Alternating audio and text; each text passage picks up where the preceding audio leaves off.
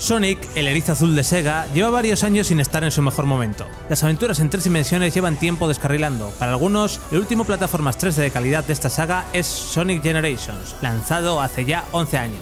El Sonic Team ha probado varias fórmulas que no han acabado de encajar, pero ahora está dando los últimos brochazos a una entrega que continúa una tendencia reciente en la industria, la reinvención. Esto es conservar un nombre prestigioso, unos personajes, una ambientación, unas premisas jugables, a la vez que se diseña un título muy distinto a los anteriores, como han hecho Zelda, God of War, Resident Evil, Assassin's Creed, Yakuza. Sonic Frontiers ha estado en el punto de mira desde que se mostró al público en mayo. El juego de Sonic y compañía, que llegará el 8 de noviembre a PC y todas las consolas actuales, es un plataformas que se encaja en una aventura a 100 en un mundo abierto y además opta por un estilo artístico extraño para la serie y añade toques de juego de rol. En la Gamescom hemos tenido la oportunidad de ponerle las manos encima por primera vez, en concreto en una sección de la segunda isla o mundo de la aventura, y la prueba nos ha servido para descubrir cómo se juega un Sonic en mundo abierto, para averiguar cómo se estructura la aventura y, sobre todo, para discernir si es más divertido de lo que parece en los gameplay que se han publicado hasta ahora.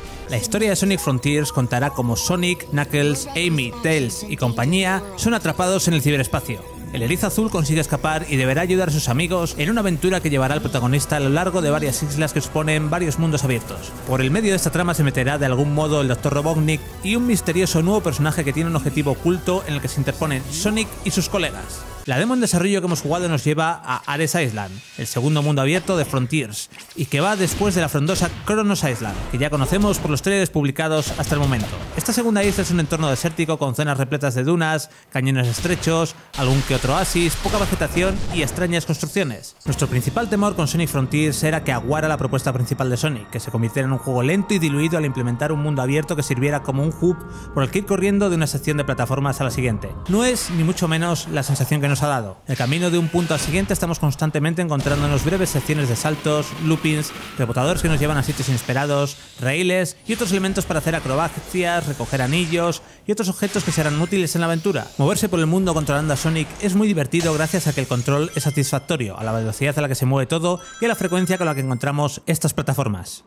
Pero no todo es correr a velocidades de vértigo, escalar, impulsarnos escenas de metros en el aire e ir rebotando de aquí para allá. Sonic tiene una habilidad inédita que le sirve para enfrentarse a los enemigos, para resolver rompecabezas y para descubrir secretos. Al mover al erizo mientras se pulsa un botón deja un rastro en el suelo. Si ese haz se conecta formando una circunferencia, se producen distintos efectos según el contexto. Romper las defensas del enemigo, encender un puzzle y activar plataformas. El combate nos ha parecido sencillo pero satisfactorio, aunque hay que tener en cuenta que jugamos al segundo mundo. Probablemente más adelante los patrones de los enemigos serán más complejos y Sonic gane más habilidades que añadan más variables a los enfrentamientos. Había enemigos robóticos, pequeños y grandes que andaban por la tierra y nos atacaban desde el aire. Unos resistían apenas un par de golpes y una embestida y otros nos obligaban a romper sus defensas, esquivar ataques y atacar en el momento apropiado. Además, también había un miniboss bastante sencillo y un gran jefe final al que no llegamos a enfrentarnos pero que era tan grande que se veía casi desde cualquier punto del mapa. También vimos lo que parece ser el equivalente a la luna roja de Zelda Breath of the Wild, que en la noche aparecen más enemigos y se pueden conseguir una gran cantidad de recursos al derrotarlos.